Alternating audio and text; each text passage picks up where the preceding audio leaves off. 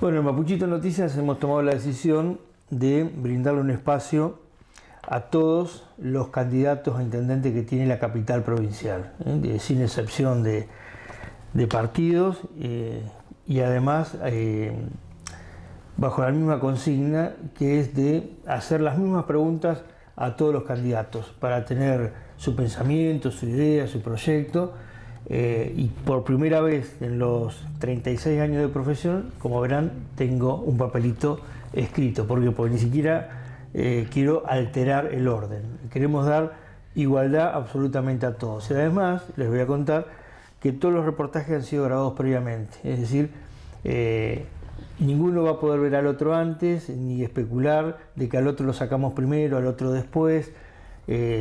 van a estar todos grabados y una vez que estén los nueve candidatos grabados, ahí los vamos a publicar, entonces este, cada uno se habrá podido expresar con su línea de pensamiento, sin poder chusmear al otro, ni sin quejarse de que eh, o lo sacamos antes o lo sacamos después. más igualdad que esta eh, no nos pueden pedir. ¿eh? Así que en esta oportunidad está aquí a mi izquierda Daniel Millaguán, candidato a intendente y le vamos a... Eh, Daniel, gracias por venir, eh, buenas tardes. Bueno, muchísimas gracias a ustedes y, por la oportunidad de poder expresar las ideas que tenemos nosotros. Bueno, la, primera pregunta es, eh, contanos un poco cómo ha sido tu vida y cómo, cómo has llegado hasta estos días, en principio, como para que la gente te conozca, ¿no? Claro.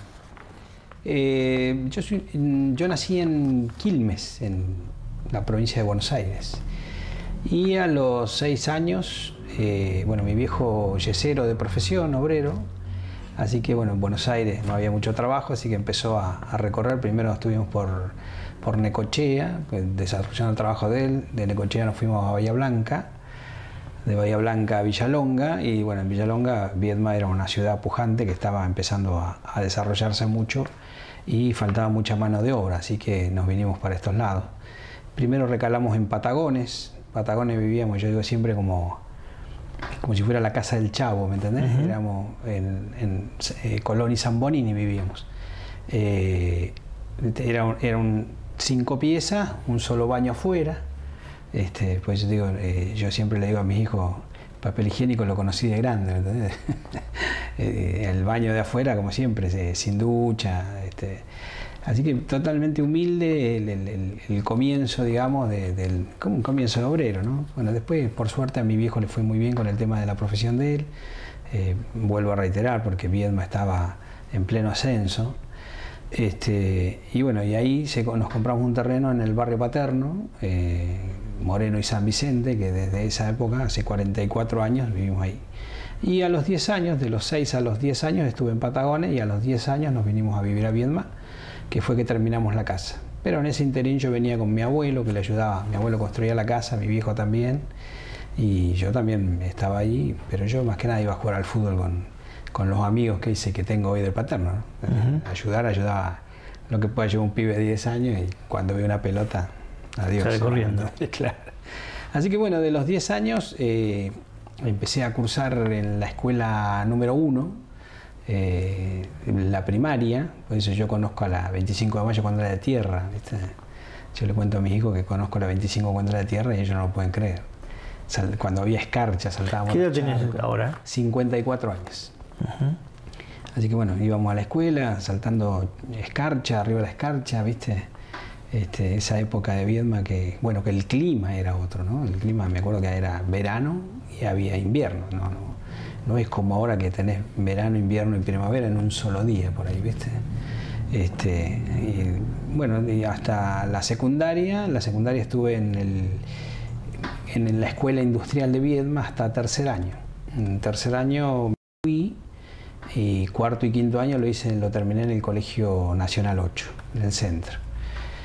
El, de la calle Guido. El de la calle Guido. Por ahí la, la escuela técnica era mucho, mucho tiempo, viste que tenés taller, tenés, nosotros tenemos, en esa época los talleres de la escuela industrial estaban donde creo que hay una educación, ahora Álvaro Barros, ahí al lado de, un negocio de, que vende aparatos eléctricos grande, y bueno, ahí, ahí estaban los talleres de, que en la esquina me acuerdo que estaba la, estación de servicio IPF de Escarfó. Claro. Eso era en Tucumán. Claro, ahí quedaba Tucumán y Álvaro Barros. Tucumán y Álvaro Barros. ahí quedaban los talleres industriales. Así que pateábamos de las, a las 6 de la tarde y volvíamos todos pateando para el barrio paterno hasta la, a las 11, las 10 y media que terminaba, 10 y media, 11 de la noche terminaba el taller. Así que, y al otro día a las 8 de la mañana el colegio y educación física. Y bueno, llega un momento que, bueno, a mí al menos me, me, agotó el tema y digo, bueno, me fui, me fui para el colegio 8. Y ahí terminé el secundario eh, en el colegio 8. Y después de ahí decidí irme a estudiar, eh, no sé si porque mi viejo me, llevaba a la obra siempre a que le ayudara y eso. Este, yo era ayudante de mi viejo mucho tiempo en el verano. Mucho tiempo era porque me llevaba materia, no era porque yo era, yo me, claro. era de vocación, Me llevaba materia y me dice mi viejo, bueno, así que bueno, ¿no te gusta estudiar? dice, bueno, vas a trabajar. Así que eh, los meses de verano la pasaba en, en la obra con mi viejo, alternando, no, no, todos los días, pero me llevaba para que aprenda lo que era el laburo y lo que era el estudio. Entonces, bueno, yo supongo que me he recibido por, por el tema ese de que, de que aprendí lo que es lo sacrificado que es, que es el laburo de la obra. ¿no? Este, y de ahí me fui a estudiar a La Plata, me fui en el año 89, la época de Alfonsín, los 14 paros de Alfonsín.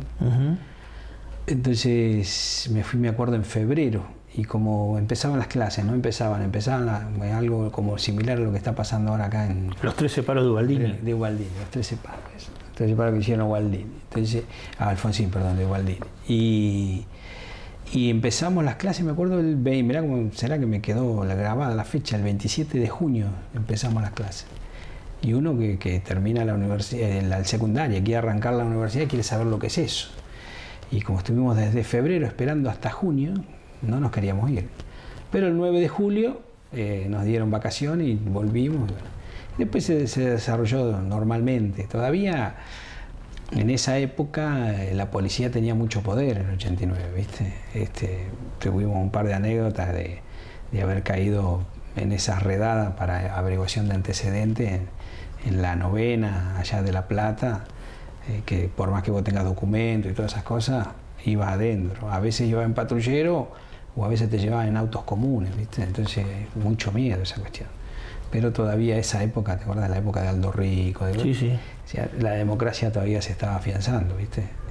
Es por eso que nosotros siempre decimos, yo le digo a mi hijo que esto que tenemos nosotros hoy eh, es la panacea, ¿viste? Y que hay que cuidarla, hay que cuidarla muchísimo y que no hay que abusar, como, como vemos que hay mucha gente que está abusando de la cuestión de, la democracia sin tener ningún tipo de moral ni nada, ¿me entendés?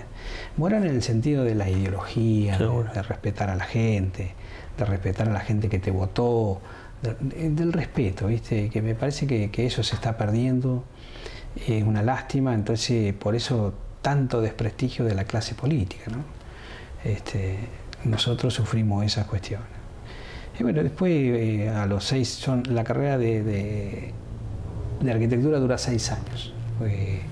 como, la, como la materia arquitectura que es la troncal, vos tenés que ir, los profesores ya te dicen, la arquitectura no se cuenta, sino que se dibuja. O sea que son seis años sí o sí de, de arquitectura. Yo estuve en una, en una cátedra que hacíamos maquetas, todas maquetas de cartón, y bueno, hacíamos una buena maqueta cuando era la final, ¿no?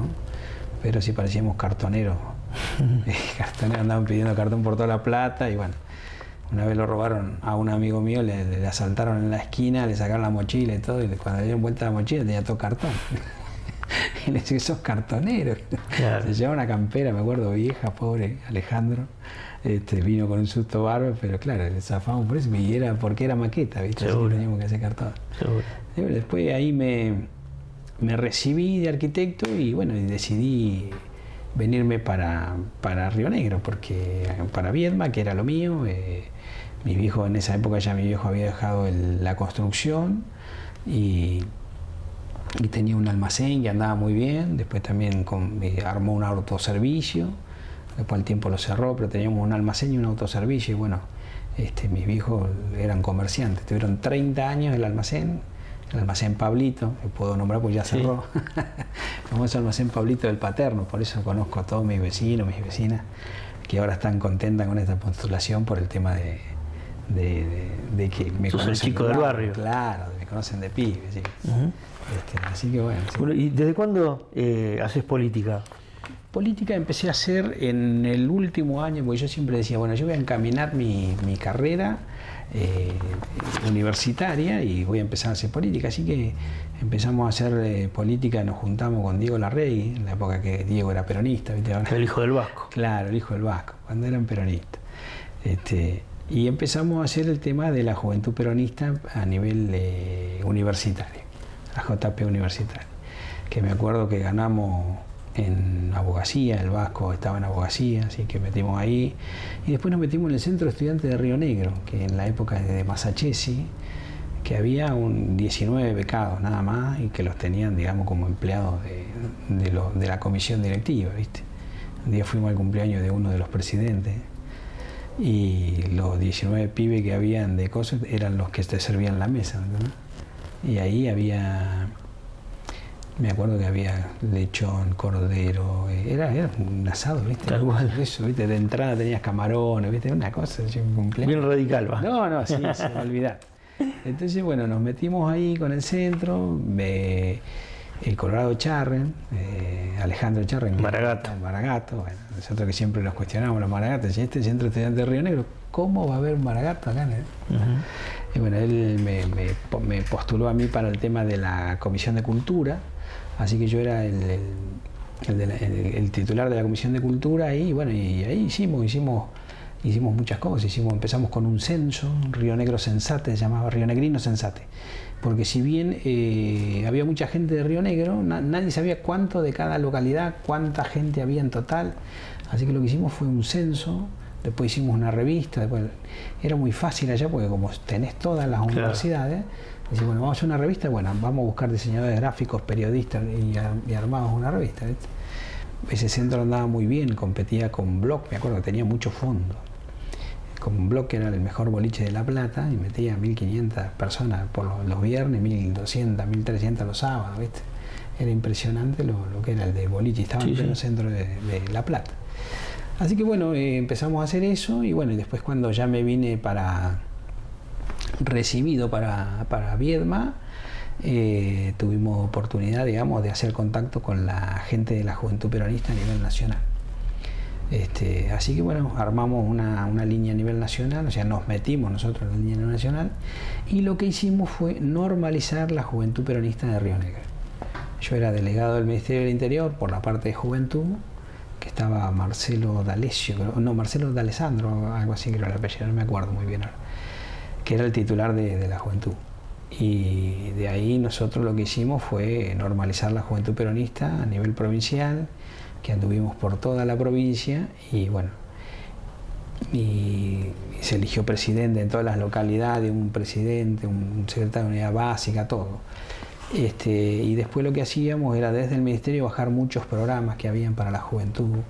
Así fue que, yo, la escuela de 61 eh, la pintamos, hicimos programas, digamos, porque Alba te regalaba la pintura si vos, así que armábamos jornadas, este, eh, me acuerdo que habían ciber completo que te, bajaban de nación. Nosotros lo que hacíamos era, íbamos y golpeábamos la, puerta, somos la Juventud Peronista de Río Negro, que queremos saber qué programa hay para juventud.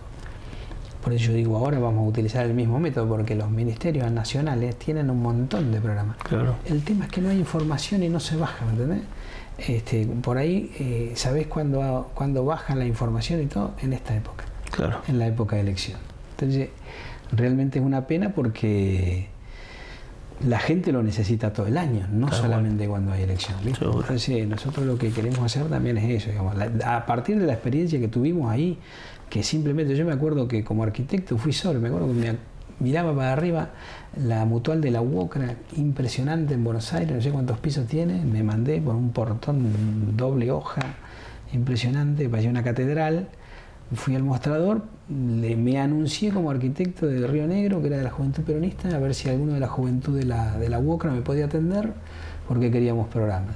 Y bueno, y a partir de ahí nos bajaron capacitaciones, nos bajaron un montón de cosas para la provincia, yendo yo solo, sin ser nadie, solamente con el título de, Juventud Peronista de Río Negro. Claro. Entonces por eso te digo, en Buenos Aires eh, hay que bucear, digamos, dentro de los ministerios para empezar a bajar programas y ofrecerlos a la gente, ¿viste?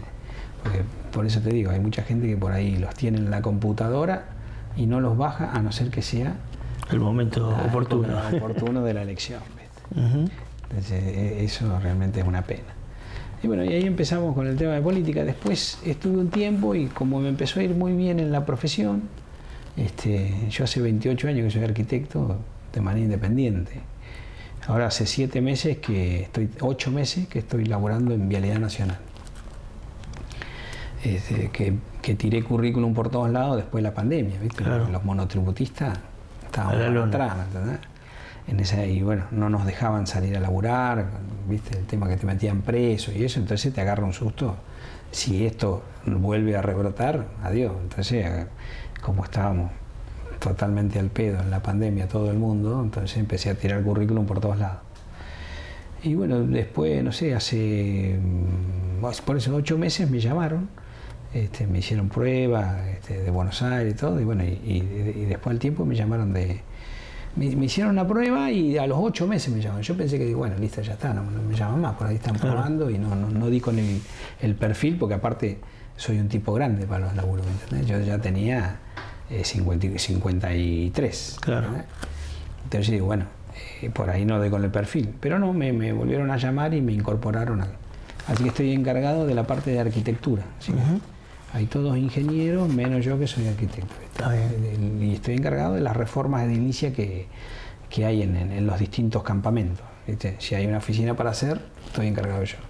Eh, hoy, por ejemplo, estoy encargado de hacer la maqueta de la rotonda, por ejemplo, ahí donde está Diarco y todo eso. Ahí estamos haciendo ese, ese tema porque también viste que es un peligro el tema de, de, Diarco, que está Diarco, está... Sí, hay varios emprendimientos ahí. Diarco, Surman y no sé qué otro más. ¿viste? En la estación de servicio. En la estación de servicio. Entonces, el tema es que han hecho una entrada por el costado lateral, después hay otra, la entrada del barrio también lateral, que la entrada se fue haciendo sola y esta la hicieron ellos para poder ingresar, porque está todo cerrado ahora la avenida Perón y hay que ver ahora por dónde van a entrar los camiones, porque vos vas a ver que para, para el supermercado, el hipermercado ese, o para la casa de construcción, eh, son camiones de gran porte con mucho peso. ¿viste? Entonces, ¿por dónde van a entrar? ¿viste? Está, bueno el emprendimiento, pero me parece que no pensaron antes el tema de, de la circulación de los autos. Y ahora eh, se ha creado un problemita, digamos, de, de entrada y salida de, de camión de gran porte y ahí hay mucha gente que anda en moto, que anda en bicicleta, eh, hasta que se haga la iluminación y todo. Porque yo te digo, yo ahora que estoy en vialidad, yo por ejemplo eh, digo, bueno, eh, cuando uno tiene obra privada es una vida. ¿Entendés? Yo entré ahí y me dijeron, no, calmate, calmate porque acá cada cosa lleva de seis meses a un año. Tranquilo. Por la burocracia estatal. La burocracia estatal, ¿entendés?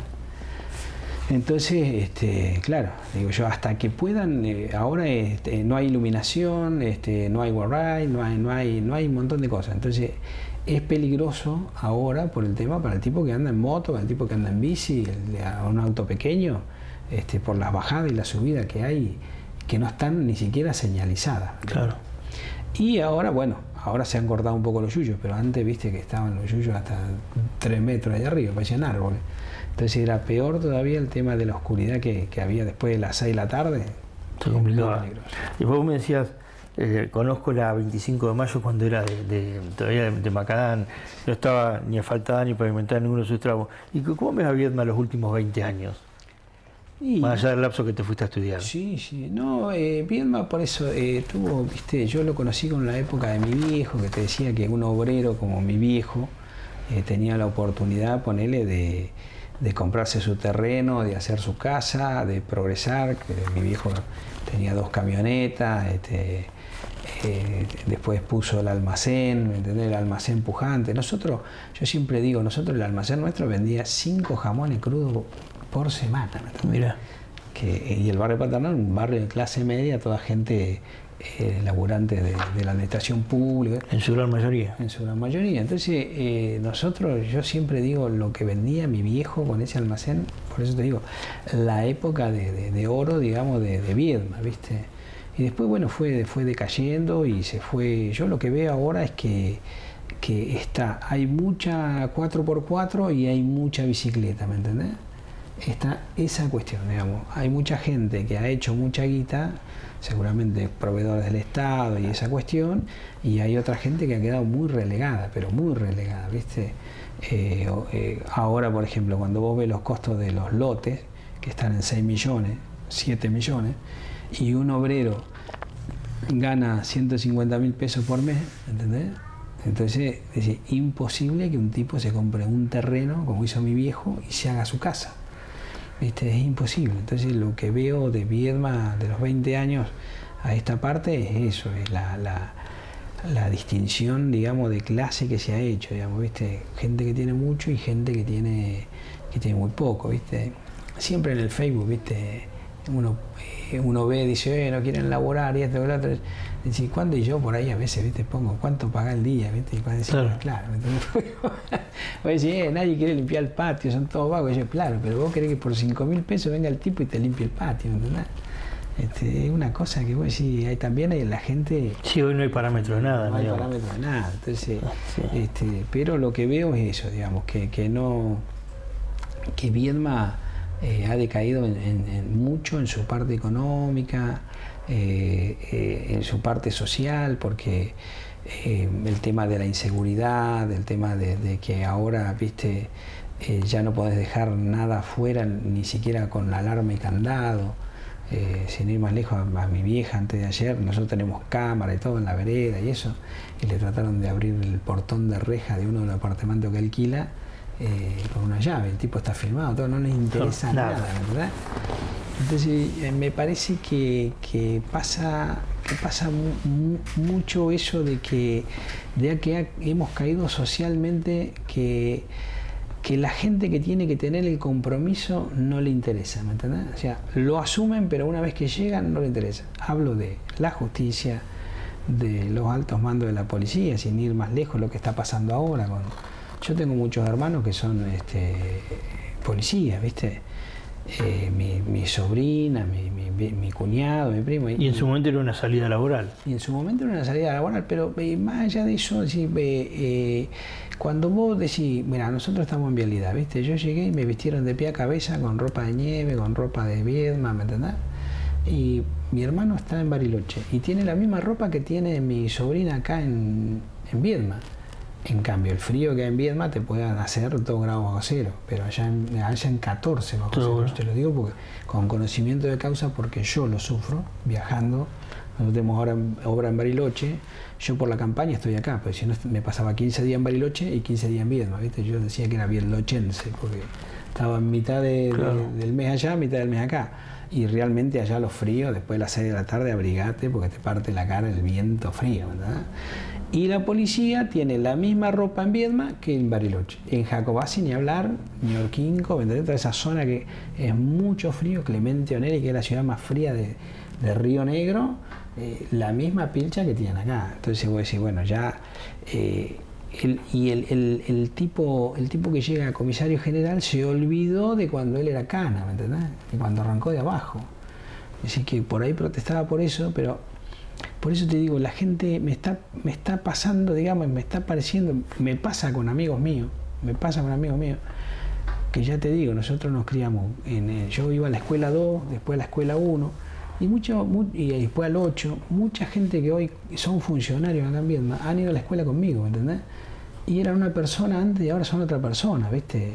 ¿Cómo te vas a olvidar vos de dónde venís? De tus orígenes. De tus orígenes, porque... Eh, ahí es donde vos empezás a, ahí es donde, donde empieza eh, eh, a, desarmarse la clase social, ¿me entendés? Es decir, ya no pensás en el tipo que viene de abajo, ¿viste? En darle oportunidades o, hacer un poco de justicia, ¿viste? Porque por ahí, yo digo, esos tipos que entran y salen de la cana, ¿me entendés? Que tienen, el otro día, sin ir más lejos, el que robó el banco tenía pedido de captura, tenía, no. un prontuario terrible. ¿Y ¿Cómo anda ese tipo? Claro, ¿sabes por qué anda así? porque el tema, el papeleo lleva mucho tiempo, es lo que decíamos nosotros, seis meses para hacer algo, bueno, el papeleo lleva muchas cosas, entonces por ahí es más fácil agarrar la ley Zafaroni y decir, bueno, déjalo y adiós, ¿me entendés? Tal cual. Pero es un, tipo que es peligroso en la calle, ¿me entendés? Entonces, ¿y por qué querés ser intendente? Y quiero ser intendente por muchas de estas cosas, ¿viste? Mucha, mucha, mucha cuestión que uno ve. Eh, yo laburo mucho con, con albañiles, con plomeros, con. Eh, bueno, eh, tengo, tengo clientes, digamos, que son también comerciantes. O sea, yo tengo distintas clases sociales. Tengo, tengo comerciantes grandes, tengo algunos empresarios acá de que son clientes míos. Entonces vos ves la diferencia, ¿viste? Y cuando vos lo ves a mis obreros y ves los tipos de arriba y ves, y ves mucha, mucha, mucha cuestión en todos los sentidos que están mal. ¿viste? Yo no veo uno que, diga, bueno, esto está, esto está medianamente bien. El que no se queja por una cosa, se queja por otra.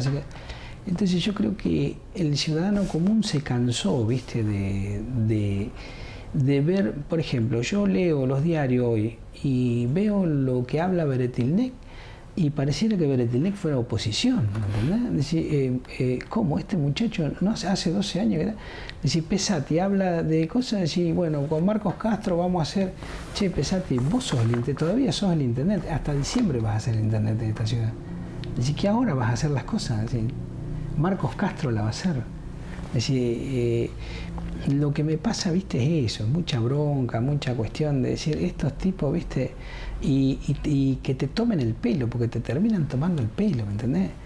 Entonces, hoy, por ejemplo, eh, estaba escuchando que la, la gobernadora eh, declaró que los 300 millones de pesos, de dólares, perdón, del plan Castelo, no lo vamos a poder pagar, que lo vamos a tener que renegociar. renegociar. Y a nosotros nos habían vendido el plan Castelo como que en la línea sur, listo, el que vendía leña eh, iba a hacer mal negocio, porque íbamos a tener gas natural comprimido, gas natural, y, ¿me entendés? Y resulta que íbamos a hacer Nueva York con el plan Castelo. ¿Dónde está el plan Castelo? No lo sé, pero que lo estamos pagando, lo estamos pagando. Y encima ni siquiera lo podemos pagar, ¿me entendés?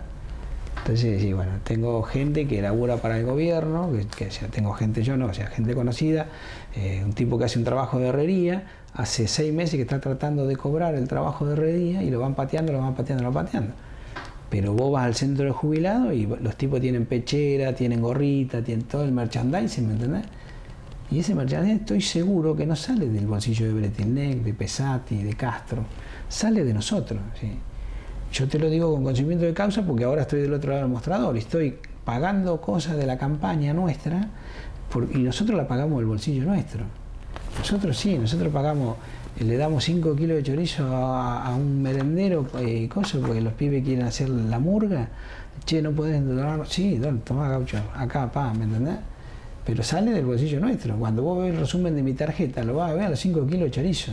Ahora, yo quiero ver si veo el resumen de tarjeta de Bertilnet y está todo el merchandising que tiró ahora en, en el Salón de los Jubilados y encima dando un discurso como si él eh, viniera a salvarnos, viniera a salvarnos. Y resulta que la misma fórmula, Beretigné Pesate, ya estuvo, viste, hace 12 años que están dando vueltas. Realmente uno se cansa como ciudadano común, se cansa y dice, bueno, no, vamos a meternos nosotros porque estos tipos realmente o nos están tomando el pelo o realmente, viste, no sé, viste, son realmente unos descarados. teniendo en cuenta precisamente esto, ¿no? Que el gobierno provincial tiene su sede central en Viedma. Eh, ¿De qué manera crees que incide el gobierno provincial en Viedma? ¿De alguna forma se, convierte en un competidor del intendente? Sí, el tema eh, de la provincia y, y la, es una vieja discusión municipalidad, eh, yo lo que digo es de acuerdo al, al color político, ¿viste? Si vos sos la, la oposición, si ponele, si ganamos nosotros y después nos, este, nos toca eh, cogobernar con un gobierno de Juntos para el Cambio, ¿viste? Obviamente que uno tiene el pensamiento, yo siempre tengo el pensamiento de, ser estadista. Yo digo, acá en este país eh, no avanza porque no tienen pensamiento de estadista, ¿viste? Eh, para mí las cosas que, ha hecho bien Pesati las vamos a continuar y las vamos a mejorar. Y lo que no hizo bien lo vamos a, rehacer o hacer de otra forma. ¿Entendés? si hay algún funcionario de Pesati que está haciendo las cosas bien, que tiene que continuar en el cargo, vamos a ir a hablar con el tipo para que continúe en el cargo, ¿me entendés? Este, eh, yo pensaba, ponele, viste, vos ves todo verde y blanco, Viedma y Viedma y Viedma. Bueno, eh, nosotros de llegar al, al, cargo lo que vamos a hacer es ponerle a la B, ponerle una M o una A o lo que sea, pero no volver a plotear y pintar todas esas camionetas que se gastaron fortuna, ¿me entendés? Entonces me parece mucho mejor hacer cosas, digamos, para la cuestión de, la gente y no para identificar al partido político que llegó, ¿me entendés? Entonces yo lo que digo es esto, eh, hay que tratar de... Mira, yo lo que le propuse el otro día charlando con dos o tres que me encontré en un café eh, con, creo que estaba Brusa y no sé qué, que no lo conocía, Brusa y nos conocimos, este, estaba tomando un café con otra gente y bueno, nos pusimos a charlar y le digo, bueno, mira, Después, el día de mañana, el que gane, viste, a mí me gustaría conocer tu propuesta, tu propuesta, cómo la iba a desarrollar. Eh, traeme los proyectos que los vamos a desarrollar, ¿me entendés? Porque son buenas ideas, los vamos a desarrollar. Porque vos cuando llegás después al, gobierno, no sos el, intendente de unidad para la victoria. Sos el intendente de la ciudad de Viedma, sos el intendente para los que no te votaron y para los que te votaron, ¿me entendés? Entonces yo lo que digo es eso, tener mentalidad estadista, ¿me entendés? Entonces, nosotros estamos en la capital de Río Negro. El gobierno provincial tiene que convivir con nosotros. Entonces, ¿qué mejor, por más que seas de distinto partido político, congraciarte y hacer trabajo eh, mano a mano, eh, como decimos nosotros, bajar proyectos, bajar proyectos en conjunto, trabajar en conjunto porque ahora no somos eh, Unidad para la Victoria y, y, bueno, no sé cómo se llaman ahora todo el rejunte este, pero juntos somos Río Negro, no sé qué somos el gobierno, ellos de la provincia de Río Negro y nosotros de la ciudad de Viedma. Entonces trabajemos mancomunadamente, ¿verdad? Eso es lo que queremos hacer, que me parece que se tendría que hacer. Yo siempre digo, a mí me encantó, por ejemplo, la idea que tenía Dualde sobre los autos. ¿Te acuerdas que te daban un cheque? Sí. Digo, ¿cuántas vidas hubiéramos salvado si, si, hubiera seguido con ese proyecto que era muy bueno? Era muy bueno no solamente porque salvás vidas, sino era bueno porque le daba laburo a la industria automotriz, seguridad en la ruta y todas esas cuestiones, ¿viste? Cuando vos te lo pones a analizar, es un proyecto que es muy bueno.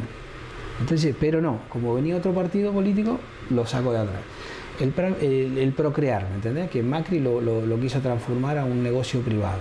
Si el procrear, yo me acuerdo que con el procrear nosotros trabajamos cualquier cantidad, mucha gente se hizo su casa, es lo que hablábamos hoy, gente que cobra un sueldo hoy, no sé, de 80 mil, 90 mil pesos, perdón, de 120 mil pesos de estar ahora el sueldo. 120 lucas, que son los sueldos de la provincia mínimo, pueden hacer su casa y eso fue con compra de terreno. Yo le hice una casa a una chica en Río Colorado, compra de terreno y, casa con el plan Procrear, ¿me entendés?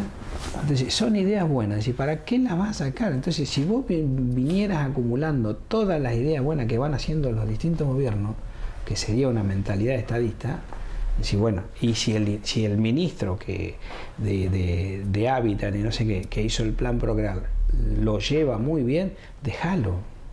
Déjalo, no, importa que sea radical, que sea de, socialista, vos déjalo porque el tipo conoce la cuestión, ¿me entendés?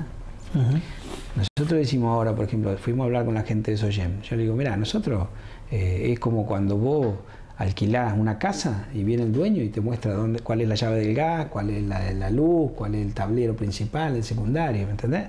Porque el gobierno que viene, viene a alquilar, ¿me entendés? Nosotros no vamos a venir a traer todos los funcionarios nuestros, o, no tampoco andamos prometiendo laburo como locos, ¿viste? Hoy hablaba con una chica y me dice, no, lo que pasa es que a este le prometieron laburo, ¿viste? Y no sé qué más. Le digo, pero vos fijate la cantidad de gente que tiene Beretené con toda la cantidad que acumuló. Le digo, eh, viste, nosotros con, Casa, que también es arquitecto, hacemos un chiste que decís, bueno, si perdemos acá no hay problema porque vamos a ganar la, vamos a participar en la reforma de la Casa de Gobierno, porque la vamos a tener que agrandar porque tanta gente que, tiene que entrar nueva, ¿me entendés? Tiene que tener por lo menos, son dos partidos más que tienen que ingresar. ¿Cuál es tu propuesta, por ejemplo, en, turismo? Nosotros eh, con el tema del turismo decimos siempre que lo primero que tenemos que hacer es terminar el el acueducto turístico ganadero. Porque vos podés tener energía eólica, podés tener asfalto, podés tener lindas playas, pero si no tenés agua, no tenés nada. Entonces lo primero que hay que hacer es eso. Y después el tema de revalorizar el tema de, la costa nuestra, ¿me entendés? Que es la costa virgen que tenemos. Nosotros tenemos de acá a, Bahía Creek, a, Pozo Salado. Tenemos todo, todo, todo el camino de la costa y, la gente dice, ¿por qué no hay mantenimiento? ¿Y por qué no? Porque, porque no hay emprendimiento, ¿me entendés? Y sin embargo, cuando vos te puedes, viste, la imaginación al poder, viste, hay que agarrar y darle bola a todo aquel loco, entre comillas, ¿no? que viene con un proyecto como los pibes estos de el hostel de Bahía. Han hecho un emprendimiento que por suerte ahora con el Instagram, con el Facebook, con el Twitter, todas esas cosas que se que venden mucho más, que están mucho más allá de Viedma, ¿me entendés? ha venido gente de afuera a conocer nada más que el hostel y te da el turno, ¿me entendés? Y es un emprendimiento que nos lleva millones de millones, ¿me entendés? Es un emprendimiento y que se fue haciendo de a poco, pero con mucha idea, con mucho laburo, con mucha constancia. Entonces nosotros lo que vamos a hacer con eso es, primero vender a Viedma y todo el camino de la costa como lo que es, una maravilla paisajística, ¿verdad? Entonces lo vamos a llevar a todos lados, a donde hayan exposiciones de turismo y toda esa cuestión, y vamos a empezar a ver la agenda para empezar a hablar con empresarios para inversiones, dando como ejemplo las cosas buenas que hay acá, por ejemplo esto. Hablamos con la Cámara de Comercio el otro día y ellos tienen la idea muy buena de empezar a desfasar, porque acá vos decís, bueno, eh, la temporada de la boca es nada más que enero y parte de febrero. Listo bueno, ahora eh, está el. No va a ser el nombre, bueno, el tema del viento, los barriletes, no me acuerdo bien el nombre que le pusieron, pero que se va a hacer en Semana Santa, ¿me entiendes? Entonces ya hay una fecha más.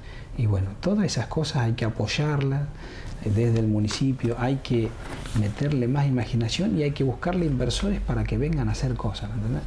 Eso es lo que queremos hacer con la parte turística, digamos, no puede ser que, no sé, por lo menos hace 20 años que no hay una estación de servicio en la boca hace 20 años, se firmó un convenio por el tema del leccionario, nada más, pero se firmó el convenio. Después, decir, muchachos, vamos a darle, hagámoslo en serio. ¿Entendés? Si de llegar al, gobierno municipal, lo primero que voy a hacer es llamarlo por salud y decir, maestro, ¿qué necesita? Y vamos a meterle para adelante, porque no puede ser que no haya una estación de servicio en la boca. Entonces, eh, y con la importancia que tiene ahora, que está, le está dando mucho, porque ahora está yendo mucho más gente a disfrutar de la boca que antes, eso es una realidad total. Entonces, eh, lo que vamos a hacer es eso. Eh, darle hacerle caso a la gente que tenga imaginación vender las costas que tenemos afuera y agarrar este, y ayudar a todo el que quiera hacer algo, ¿viste? Con el tema de, los yo, yo gané uno de esos concursos, digamos, del parador turístico allá en, en el barrio norte. el parador de la isla se llama. Bueno, entonces a esa gente hay que ayudarla a hacer las cosas, ¿me Y bueno, eh, las máquinas del municipio están, eh, falta relleno, bueno muchachos, vamos, eh, hay que, viste, yo yo gané ese concurso y cuando vos haces una casa decís, bueno, ¿dónde está el gas? ¿Dónde está la luz? ¿Dónde está el agua? Bueno, andá y viste y te dicen dónde está la luz, dónde está el gas y dónde está el agua. Bueno, en este, en este concurso nadie sabía dónde está el agua, dónde está la luz, viste, vas a pedir la, factibilidad, por ejemplo, y te dicen, no, la verdad que no sé. No, ahí me parece que está enfrente, ¿me entendés? Cuando la MUNI tendría que alargar un concurso y decir, bueno, muchachos, acá tenés la luz, acá tenés el gas y acá tenés el agua, ¿entendés? Entonces vos sabés dónde colocar el parador bien, eh, los servicios, si tenés gas natural o si, lo planificás con gas natural o, lo planificás con tubo, que también se puede hacer con tubos de gas, pero es otra planificación, ¿me entendés? Entonces nos largaron el coso rápido porque venían las elecciones y dice, bueno muchachos, acá tienen los terrenos y adiós. Yo empecé a, a, diseñar ese parador, me indicaron más o menos dónde estaba el terreno. Al mes y medio me dieron el amojonamiento, que el amojonamiento es el deslinde de terreno. Al mes y medio, ¿me entendés? Entonces, si yo ya había ubicado el parador ahí, si hubiera tenido el deslinde, lo hubiera corrido 10 metros más acá, ¿me entendés? Donde era el lugar más grande. Bueno, ahora la implantación la puedo correr, pero el diseño es otro, ¿me entendés? Entonces, me parece que falta un poquito de planificación y ayuda al tipo que quiere venir a invertir, ¿viste? ¿Y qué planteas por el tema deporte, desarrollo social, por ejemplo? Perdón, Deportes, en el área de desarrollo social, que también son áreas sensibles. Nosotros, eh, la cuestión esta de, decimos, tenemos como una planificación, que damos un ejemplo siempre, que lo doy yo particularmente, de la cuestión de cuando un pibe empieza a andar en bicicleta, ¿viste? Entonces voy a decir, bueno, primero con la ruedita, después lo lleva de atrás y después lo deja solo. Nosotros en deporte, cultura, este, eh, pensamos hacer dos etapas con la gente, hasta una tercera por ahí. Por ejemplo, eh, queremos poner talleres de guitarra, de muralismo, de pintura, pero también queremos que el pibe que aprendió a tocar la guitarra se suba a un escenario para ver si realmente la vocación del pibe es tocar la guitarra o realmente, como uno es adolescente, por eso eh, se llama adolescencia, porque adolece de, algunas cuestiones y va tomando experiencia, este, hasta los 18 años vos no sabés si realmente querés estudiar abogacía, arquitectura o querés tocar la guitarra, ¿viste? Por ahí te queda eh, como a Fernández que le quedó el tema de la, de la guitarrita y terminó siendo presidente, ¿viste? O abogado. Entonces, eh, nosotros queremos hacer eso, queremos con la, con la gente joven, eh, hasta 18 años, queremos agarrar y decir, bueno muchachos, vamos a empezar con centros culturales en los barrios, este, los, queremos este, darle infraestructura a los deportes, no solo al fútbol, sino queremos que la gente del barrio también pueda tener una cancha de hockey, una cancha de básquet. Porque vos vas al barrio y ves fútbol nada más, ves una pelota de fútbol. Nunca ves una, pelota de básquet ni ves una, bola de, de, ¿cómo se llama? De cosas. La gente de Sol de Mayo, por ejemplo, que está eh, reviviendo el tema de la pelota paleta, ¿me entendés? no hay ninguna cancha de pelota paleta en el barrio. Entonces queremos reflotar el tema de los deportes, no de el deporte, de los deportes. Y queremos hacer eso, digamos, acompañar al pibe no solamente a que aprenda la guitarra, sino ahora que hay muchos festivales y bueno, armaron una banda, chicos, bueno, van a tocar en la fiesta del río, en la fiesta del lechón en San Javier, y vamos a hacer convenios con las distintas municipalidades para que ellos nos manden los de ellos, nosotros mandamos, pero que el pibe se suba arriba el escenario y si es la vocación de él, va a seguir en derecho. Y si no, bueno, terminás estudiando abogacía o, siendo un buen electricista o un buen constructor, ¿me entendés? Pero darle la oportunidad en esas dos etapas y acompañarlo mediante el municipio, ¿viste? Estoy, el otro día estaba hablando con unos chicos que se juntan en la Plaza San Martín o, en, o allá en, en la costanera que hacen trap y leí al diario que eran 25 pibes que querían ir a un concurso de trapa a nivel nacional, pero no conseguían financiación, ¿verdad? Entonces, bueno, ahí estamos frustrando gente, ¿verdad? Porque por ahí vos, con poner un transporte, ¿me entendés? Desde la municipalidad se gasta en tantas cosas, que pongamos un transporte, saquemos siete calcomanías más a esas camionetas y le damos los pibes el transporte para ir a, a Treleu, creo que era el concurso nacional, y por ahí sale un elegante, por ahí sale un, ¿viste? uno de esos tipos nuevos que cantan trap y eso y, va para adelante, ¿verdad? Entonces queremos hacer esas cuestiones. Uh mucho sobre el tema de la comarca, ¿no? ¿Vos crees que hay que laburar comarcalmente o tanto Vilma por su lado y Patagonia por su lado. No, es imprescindible, es imprescindible que seamos una sola cosa, es imprescindible. Pero de los 40 años de democracia lo vamos escuchando a todos los candidatos a intendentes, a todos los candidatos a concejales, salvo lo del GIRS o algún, hecho, algún otro hecho aislado. Pero acá hasta, hasta el tema de las clases, viste, que vos tenés desfasaje en el tema de las clases.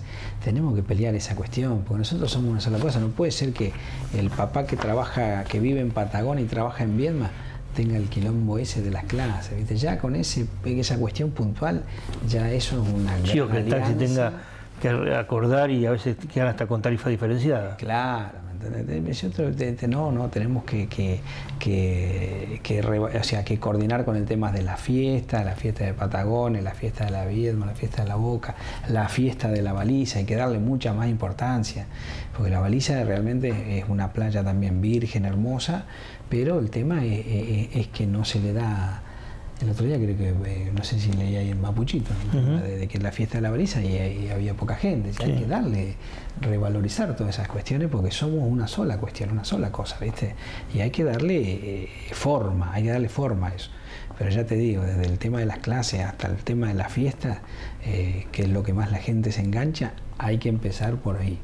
¿viste? Por el lado más fácil y después sí, darle rosca al tema de proyectos conjuntos, ¿me entendés? Este, qué sé yo, proyectos turísticos conjuntos, porque así como queremos desarrollar Viedma sin Patagones es imposible. Porque cuando uno viene, trae gente de afuera, por ejemplo, yo tengo mis primos de, de Varela, que siempre lo nombro, vinieron a Viedma y cuando fuimos a la parte de Patagonia a comer allá abajo se quedaron encantados con la parte colonial de, Patagonia. Entonces, eh, el turismo es de los dos lados, Por, eso te digo, vos querés eh, fomentar Viedma, tenés que fomentar Patagonia también, indefectiblemente. Entonces, si nosotros nos enfocamos, por ejemplo, en la parte turística, de las dos orillas a hacer una sola, yo creo que, que esto va a salir mucho, mucho más fácil.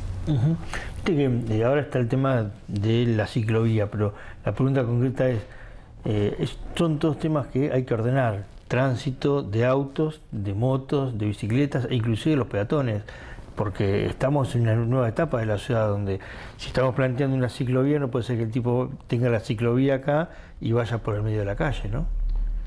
Sí, el tema, yo digo siempre, eh, falta información y falta educación, ¿viste? Hasta yo lo veo a los inspectores municipales caminando por la ciclovía. Entonces, ese muchacho, si vamos a hacer algo, primero estuvimos con la Cámara de Comercio, ¿viste? Y yo charlando con los taxistas. Entonces me decía, a nosotros la ciclovía nos cagó el tema del laburo, nos bajó un montón la caja porque, por ejemplo, en la anónima, donde había una parada, ahora no pueden ir más. Porque dice, no podemos cruzar a la gente, no podemos parar en doble fila, nos van a hacer multa, ¿no me? O sea que ya cagaron un laburo. Por no, ir a consultar a la Cámara de Comercio. Hablamos con la gente de Cámara de Comercio y si de un día para otro nos despertamos y había una ciclovía. Pero nadie vino a consultarnos a nosotros, ¿me entendés? Después de la planificación urbana, decir, bueno, a mi amigo Gastón Renda, ¿viste? Hay que decirle, Gastón, eh, un poquito de planificación urbana, meter una ciclovía en una vía comercial y rápida, decir, me parece un poquito exagerado. La podríamos hacer por otra vez, porque el sentido de la ciclovía es la seguridad del ciclista y el cuidado de la salud, el ejercicio y esa cuestión. Acá en el centro, ¿no? Pues en el barrio no está. O sea que en el barrio parece que no hay cuidado del ciclista y la gente aquella tampoco le van a cuidar la salud. Porque nosotros podríamos hacer en la 30, podríamos hacer una ciclovía y yo digo, montón de bicicletas eh, de, allá son para laburo. Ahí vos tenés que cuidar al ciclista porque viene a las 6 de la mañana, ¿viste? Sin el ojo de gato, sin ahí metelo en la ciclovía. Acá las bicicletas del centro cuestan 300 lucas, 200 lucas, tiene el ojo de gato, la lucecita LED, ¿entendés? los que somos ciclistas generalmente más no andamos en la ciudad, no vamos al monte. Claro, entonces eh, es decir, eh, era lo que hablábamos hoy de, la, de lo que vos me preguntabas cómo está bien. Está así, está totalmente partido en dos, ¿me entendés? La injusticia es hasta en las pequeñas cosas, como una ciclovía, ¿me entendés? Entonces, bueno, pero con la ciclovía me parece que hay que reordenarla, ponerla de una mano, porque muchos accidentes eh, ocurren porque el, automovilista mira para su mano y resulta que del otro viene una bicicleta a, a todo lo que da, ¿me entendés? porque tampoco andan despacio los que andan mucho, ¿viste? Este, entonces eh, ya hubo un accidente ahí en Boulevard y, Belgrano, creo que fue. Pero, entonces, pero cuando uno va al tema del accidente, por ahí... Por eso planteo esto de que el ciclista también hay que hacerlo respetar la norma de tránsito. Por eso te digo eh, que me parece que, no hay eh, una planificación de nada. Si, bueno, muchachos, vamos a largar la ciclovía, bueno, y, y largar los inspectores a la calle, por favor, y que vayan indicando que va a haber una ciclovía y que de doble mano larga cartelería, larga folleto, ¿entendés? Sacalo por la radio, ¿viste? Eh, la foto esa linda que se saca eh, Pesati y está en todos lados, que saquen fotos y diciendo, indicando que va a haber una ciclovía, que va a ser de doble mano y que puede representar cierto peligro hasta que la gente se acostumbre, pero es como todo, ¿me entendés? Si vos te compras un, un, dron, viene con las instrucciones entonces, si nosotros vamos a hacer una ciclovía, dennos por favor las instrucciones de cómo se usa. ¿Viste? No, no, no es que de un día para el otro vos te levantes y tengas una ciclovía y buen día y como doble mano, ¿cómo? ¿Para qué, ¿Para tantos cositos amarillos uno al lado del otro? Este, ¿viste? Yo lo hubiera puesto tres por uno, ¿viste? Uno, tres libres, uno, tres libres, y si vos lo ves igual. Entonces, pero. Y después las calles. Mm, Belgrano sube, Moreno baja. Vos le vas a poner una ciclovía, faltó que la pongan en Moreno. Era decir, Belgrano, que si ponele un poquito más allá, porque si el ciclista quiere hacer ejercicio, que haga una cuadra más no le va a hacer nada. ¿Viste? Vos que andas en bicicleta, una cuadra más no es nada. ¿verdad? Entonces, sí, bueno, pero ordenémonos en sí, yo me voy al monte, elijo el monte. Eh, después vemos, por ejemplo, eh, nosotros teníamos pensado ahí en la 20, la entrada de la 20, que es, angostita también el coso, pero tiene mucho vereda, tiene 6 metros de vereda por un lado todo. Entonces estamos pensando un proyecto para poder eh, ensanchar un poco la 20. Que ese proyecto, digamos, por eso te digo yo lo que te decía hoy de la cuestión de estadista. Si yo no lo hago, si yo no llego, se lo voy a llevar al, próximo intendente que esté electo. Si le da pelota o no le da pelota, eh, allá él. Pero es un aporte, digamos, desde, el punto de vista que digo yo, yo soy un ciudadano común que quiere, cansado de que, de que no te hagan las cosas, bueno, yo les voy a llevar un proyecto en ese sentido, si pierdo las elecciones, como un ciudadano común. ¿me entendés? Entonces, sí, señores, acá tienen mi proyecto para ensanchar la 20 y darle más seguridad al ciclista de la 20, que también existe. Eh, hay temas muy sensibles que tienen que ver con la producción y con el trabajo. IDEBI, Feria Municipal, Parque Industrial. ¿De qué forma crees que se pueden vincular para generar empleo o inclusive darle valor a la materia prima local? Mira, eh, el tema es decir, vamos a empezar por la feria, ¿viste? Yo la feria municipal me acuerdo que cuando se creó, este, era la cuestión de ir a la feria para buscar la fruta fresca que venía del IDEBI. Que venía del IDEBI y que estaba a un precio muchísimo más barato que la verdulería. Claro. ¿Entendés? Ahora, ¿qué pasa? Ahora pasa al revés. En la verdulería está más barato cada vez que hay feria. Entonces ahora compite, la verdulería y la feria están compitiendo. Y vos por ahí el tomate lo encontrás más barato en la verdulería los días, los martes y sábados, que en la feria, ¿entendés? Entonces, eso no, viste, eh, eh, pusimos el carro delante del caballo, ¿qué pasó? ¿verdad? Entonces, bueno, hay que empezar a regular esas cuestiones, ¿me Por alguna forma o por otra ha pasado algo que se desvirtuó todo el, espíritu que tenía la feria municipal, ¿me entendés? Sí, que además ya abrió a, otras actividades también, ¿no? Claro, claro, ¿me entendés? Entonces, feria de todo. Y después la otra idea que teníamos nosotros era que hacer alguna cuestión itinerante, digamos, como hay ferias en, todos los barrios, para llevar esa feria a todos los barrios, ¿entendés? Porque nos cuentan, por ejemplo, volviendo a la cuestión de, lo partida que está la ciudad, la feria termina a las 3 de la tarde y bueno, todos los feriantes se van a la feria, a de las 3 de la tarde se van con toda la mercadería para el trueque en el barrio Mi Bandera, por ejemplo, ¿entendés? Entonces los sobrantes los venden en mi bandera, ¿me entendés? ¿Por qué el tema ese? El ciudadano del primero y el ciudadano del segundo, ¿me entendés? El tomate que no quisiste vos, el tomate que no quiso él, quedó en el cajón y se lo llevan al fondo, ¿me entendés? Porque este, acá le han dejado un fondo. Entonces lo que vamos a hacer es, una de las ideas es hacer ferias itinerantes, los módulos, y caes con los módulos, eh, eh, no sé, el lunes en mi bandera, el martes en Santa Clara, el miércoles en tal porque vos con esos módulos vas, los, los plantás y listo, y armás la feria, los cajones y chau. Pero que tengan verdura fresca, no la que sobra. ¿Entendés? Entonces, eh, lo que queremos hacer en ese sentido con la feria es eso, no solamente eh, sacarla de ahí, o sea, no sacarla, mantener esa, pero también tener una itinerante para que la gente tenga verdura fresca, como, como tiene la gente del centro, ¿verdad?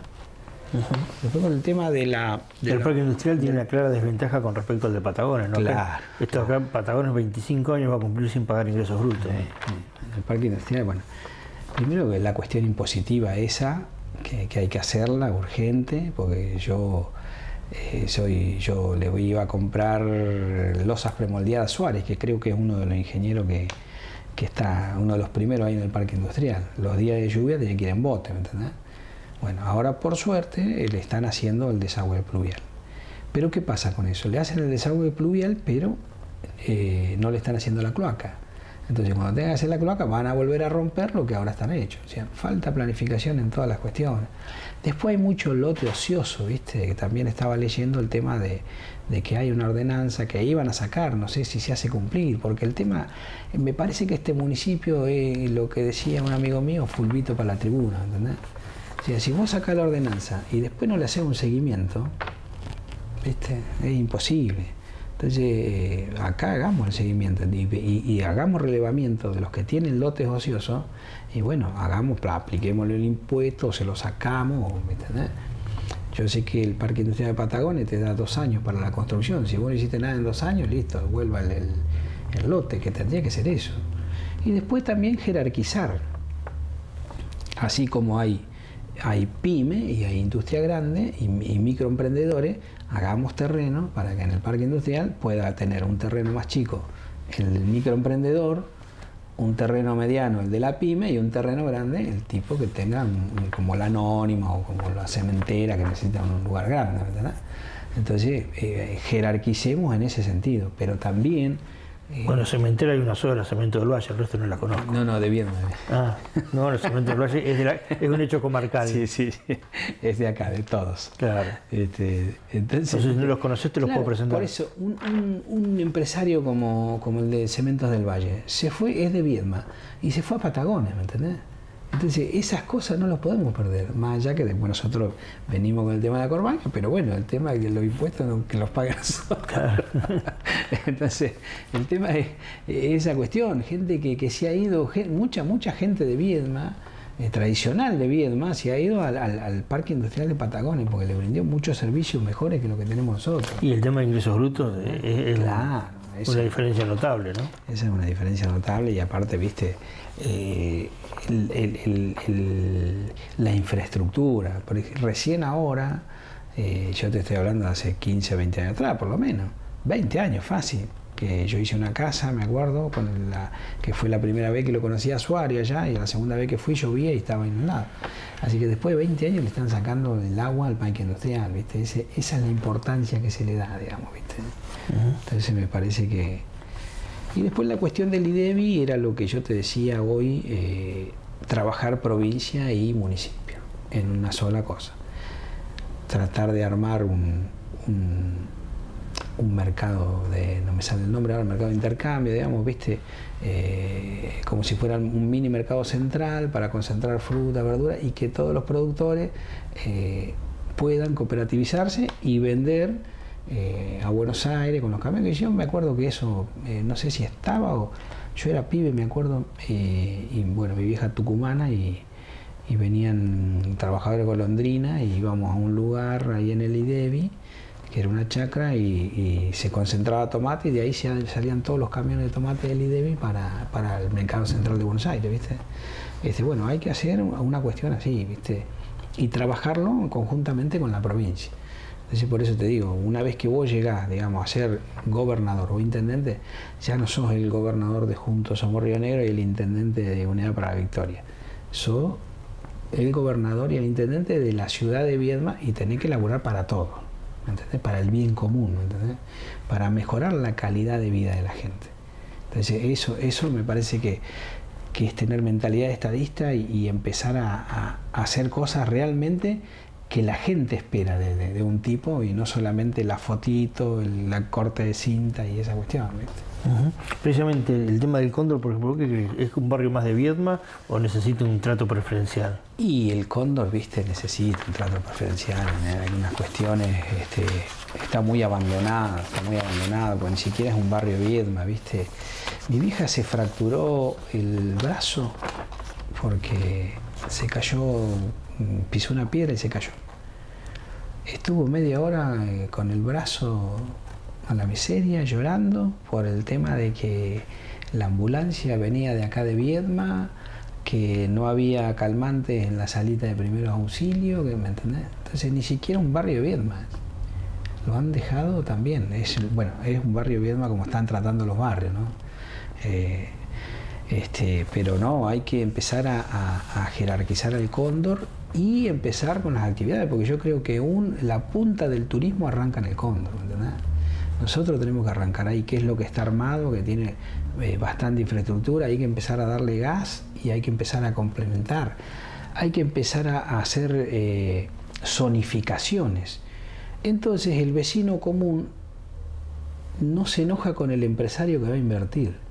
Porque el empresario que va a invertir en verano, eh, con un parador, con, una confitería, con un almacén, no eh, eh, em, da trabajo, ¿me entendés? Da trabajo en verano, da trabajo a mí, bueno, a mí me pasó que se me cortó el trabajo porque yo como arquitecto en verano eh, hacía habilitaciones de comercio.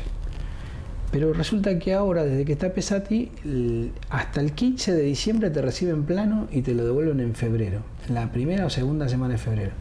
O sea que nosotros, los, monotributistas que elaborábamos de eso, todo el mes no tenemos trabajo, ¿me entendés?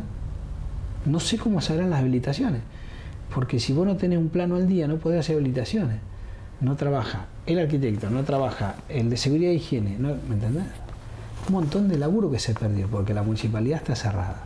Entonces, nosotros tenemos que hacer abrir la municipalidad para el que quiera venir a emprender, a, invertir en el cóndor, venga a invertir y dé laburo, porque da laburo a la gente común. Eso es lo que pasa. Bueno, eh, en el Cóndor tenés otro problema muy serio, que es el peso del transporte para llevar materiales, por ejemplo. Claro, claro. No sé cómo va a llegar el combustible el que vos planteás que vaya con la estación de servicio. Eso es el tema de, tener alguna planificación de algún camino eh, de tierra al costado, viste, con mantenimiento. Eso eh, viene con alguna planificación urbana, ¿entendés? Pero sí se puede hacer un, un, una, una ruta y, como siempre decimos, el control, ¿me entendés? Una ruta para el, turista y otra ruta para el transporte pesado, ¿me entendés? Con mantenimiento. Entonces, me parece que ahí está el truco, ¿me entendés? Entonces, vamos a tener una ruta que no se rompa, pero tiene que tener control, porque acá el control lo hacen eh, nada más que de noviembre o de octubre hasta marzo. Y después, olvídate, en el, invierno, camiones que van y vienen con piedra, con esto, con esto, así, muchachos, la ruta es de, todo y la vamos a usar todo, ¿me entendés? Y el peligro que es ahora con las ondulaciones y eso, es imposible. A 80 tenés que ir, a 60, tranquilo, ¿me entendés?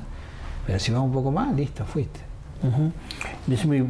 ¿qué cantidad de funcionarios crees que deberías tener en el municipio? Mira, yo lo que digo, el tema de los funcionarios, lo primero que voy a hacer eh, venir con la gente de Soyem y decir, bueno, mira, necesito gente que sepa dónde está la tecla de luz y nosotros hablamos de mejorar la calidad de la vida de la gente y del empleo público. ¿Entendés que está ahí adentro trabajando? Porque vos los ves en la municipalidad, yo que voy permanentemente por el tema de mi trabajo, los ves con. Yo le, decía a Recacho el otro día cuando tuvimos la reunión con la gente de Le digo, los veo como apagados, como tristes. Dicen, ah, nosotros hace cinco años que no tenemos capacitación, vinieron con el director, del subdirector, del, secretario, ¿me entendés? De a tres funcionarios por cosa, nos corrieron a todos, pero resulta que el director y, el, subdirector te preguntan a vos cómo se hace el trabajo, ¿me entendés? Pero el sueldo se lo llevan ellos. Entonces nosotros lo que vamos a hacer primero es buscar funcionarios dentro de la administración pública, o sea, dentro del personal que está.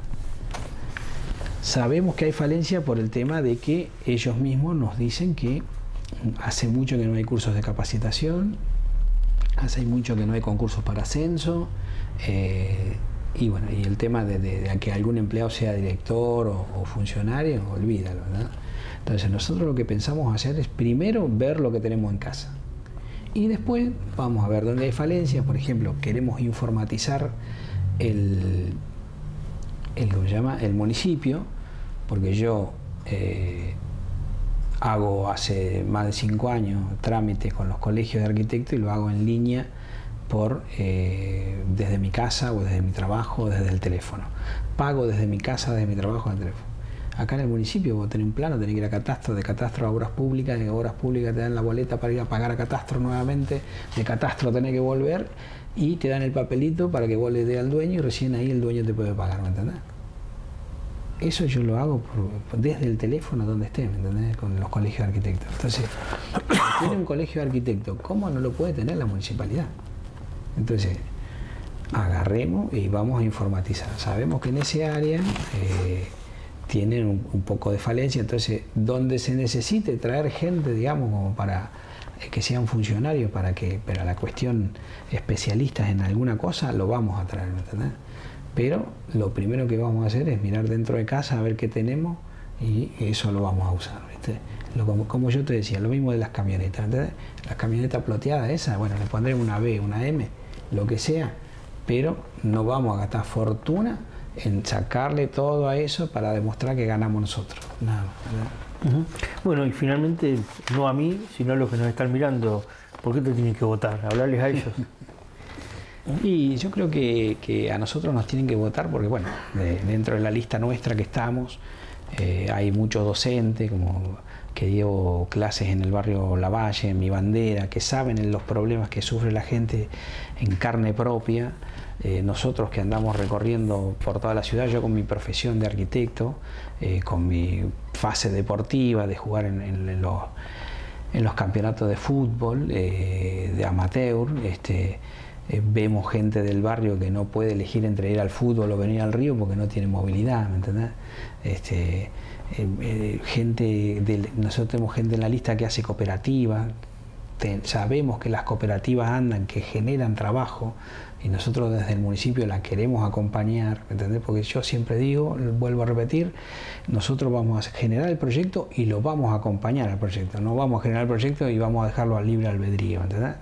Queremos hacer planificación de la ciudad, nos vamos a meter con temas que somos políticamente incorrectos, como por ejemplo las tomas. Las tomas ya, las que no estén judicializadas, nosotros las vamos a ordenar, le vamos a mejorar la calidad de vida a esa gente, ¿por qué? Porque se lo merecen, ¿me entendés? Porque no pueden ser ciudadanos de primera y ciudadanos de segunda. Vamos a crear eh, ferias itinerantes para que el mismo tipo que, coma la fruta en la, eh, en la feria municipal de, la 261 eh, también la coma el, del barrio, ¿me entendés? Entonces, para, nosotros queremos igualar la ciudad y gobernar para todos por igual. Nos vaya mejor a todos. ¿Y con qué número de, boleta te encuentran? Eh, lista, es Unidad para la Victoria, lista 428. Que lleva como candidato a gobernador a Gustavo Casas. como candidato a gobernador a Gustavo Casas. Daniel, te agradezco que hayas venido. Bueno, no, muchísimas gracias a usted por la entrevista. Bueno, así pasó Daniel Villaguán, ustedes lo escucharon. ¿eh? Es una de las alternativas que se presenta para la capital provincial.